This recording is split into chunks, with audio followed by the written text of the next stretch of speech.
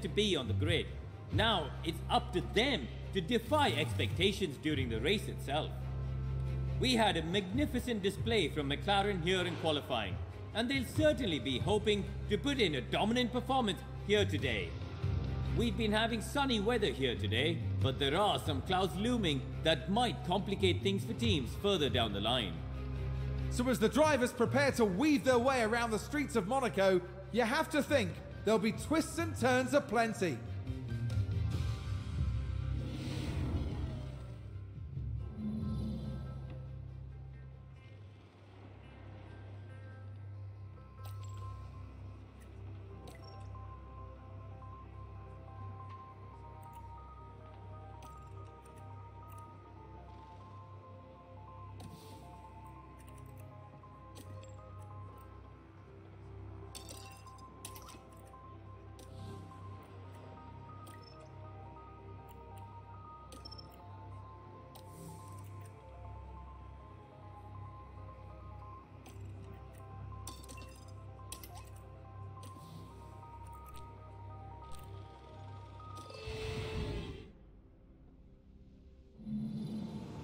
Quite a few clouds overhead as we look at the lineup on the grid. Taking a look at the Aston Martin. They're up in third position, tantalisingly close to pole. There's the second Aston Martin. With a top 10 position on the grid, this race could really go either way for them. The race start is mere seconds away. It's time for one of the most exciting races in the world. This is the Monaco Grand Prix. And it's lights out and away we go.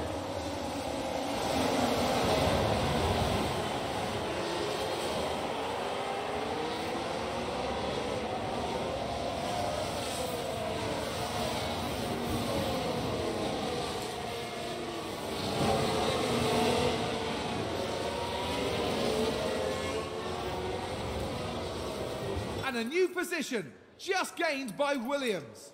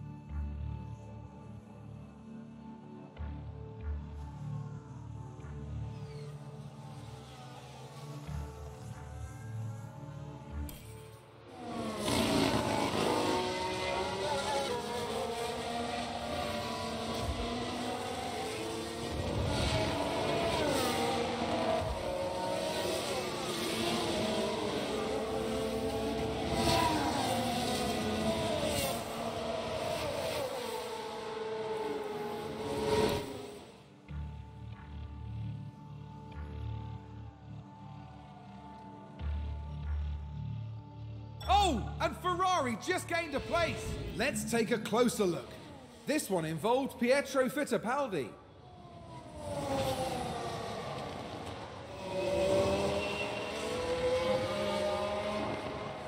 A bold move indeed, and with that, they've gained a position. The team are really disappointed with that.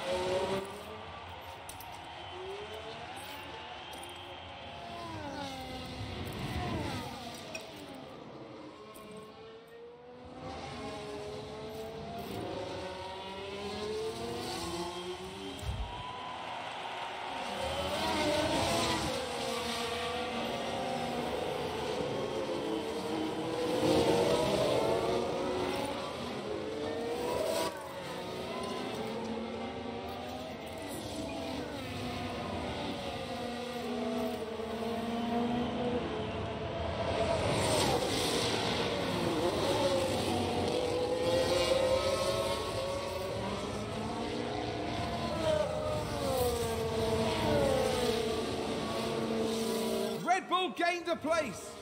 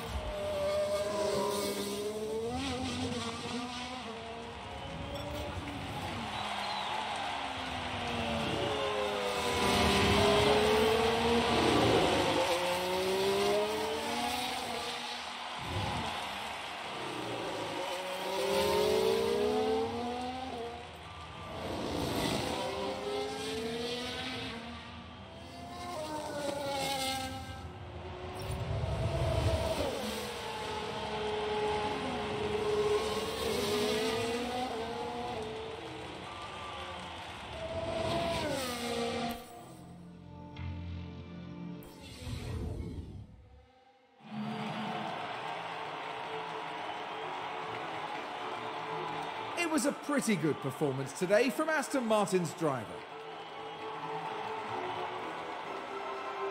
Aston Martin had a good enough weekend, but there's still some margin for improvement here. There's no rest for F1 teams. Let's hope their hard work can get them closer to exceeding expectations in the next race. At the end of the weekend, it's second place in the constructor standings for them. Next time, the teams will be racing through the streets of another city. Join us in Baku on the shores of the Caspian Sea for the Azerbaijan Grand Prix.